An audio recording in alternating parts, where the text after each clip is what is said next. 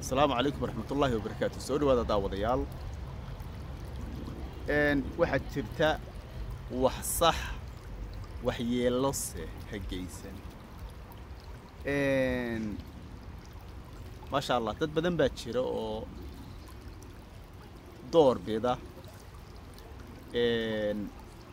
ama aada u daneeya inay wax ama khalad dhacay ha noqdo ama khalad u muuqda ama magaranaysa waxaan fiicnayn oo la samaynayo. Sidaa daraaddeed dad badanoo si wanaagsan wax u saxa oo wax soo diyaarsada oo waxaa ka baaraandega oo ka feejignaada oo runtii maasha allah si fiican arrintaa isu dultaaga oo badan baa jira. Waxaa jirta in kale oo halkay wax sixi lahaayeen wax yeello geysta ama dhib ka dhib waxay saxaynba dhib ka weyn geysanaya waxyaabaha ugu muhiimsan waxaa ka mida innaga baraha bulshadu waxay fududeeyeen inuu qofku mobil helo markiiba duubo markiiba soo dhigo magaranaysa hebelow kaalayga duub iyo waxaasi marta de inay hawada ka baxeen iminka markaa qofku ay ka xigto inuu mobil helo duubo internetna helo geliyo daabaco baahiyo. Deedna meesha doona uu ka dhaco. Marka dadkaa faraha badan ee isku dayaya in ay wax qalad qalad u muuqda ka hadlaan. Marka khalad maxaa ah? Waxyaabaha qaar waa aragtiyooyin. Wax qof sibuu u arkaa qof kalena sibuu u arkaa.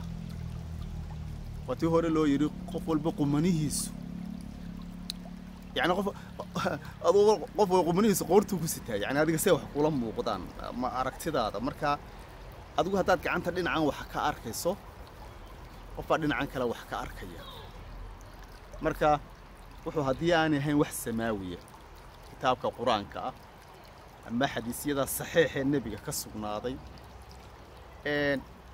waxa kale waa aragti marka aragtiyooyinkuna waxay u baahan yihiin qofku sida ugu macquulsan inuu u saxo haddii wax la qaldayo. Khaladaadna waxay ka imanayaan habdhaqanka bulshada. Khaladaad waxay ka imanayaan waxaan loo yaqaano aragtiyahan bulshada ay wadaagayaan ee ka dhexeeya. Waxay ka imanayaan qaar waxay ka imanayaan falcelinooyinkan dadku magaranaysa qof ama hadduu qof baa hadlay qof kala ma garanaysaa qaar waxay ka imanayaan tabashooyinka marka saddex qodob baan jecelaya inaan la wadaago dadka jecel inay dadka saxaan ama khaladaad u muuqda saxaan qodobkood muxuuya kow waxaan adiga khaladka kuula muuqday waa inaad baadho oo aad gorfayso وأت تل تاكتو وأكو إن لبا خلط كمرك صح يسو هنا تكده يراتينا دفلجي تجيسن يعني قف كشخت يدي سأنا ضع قف قف عن شلايا يا. يا يا يا. يا يا. قفك الشخصية سي يوحد صح يسكر يا. Qodobka saddexaad waxa weeyaan intaanad baahin hadday kuu suurto geliso oo cidi kula joogto ama qof kaa aag dhow yahay ka talageli oo la wadaag. Waxaad u sheegtaa niwan waxaasaan jecel inaan ka hadla ee markaa qofkaas isna aragti buu leeyahy waxa laga yaabaa inuu waxaaga sii wanaajiyo wax kula wadaago. Ama ka hor intaanad ka hadal baaritaankaad samaynayso ku dar inaad ma garanaysaa cid kala tashato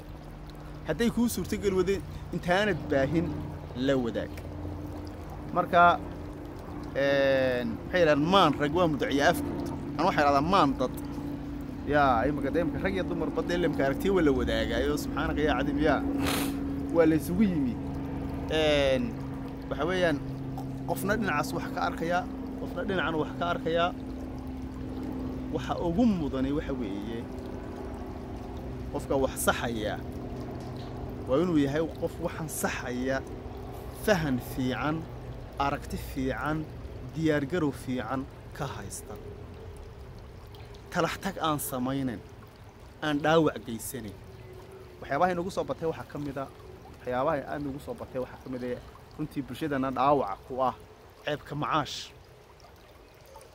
Qof baa simbirrixdoo dhacay.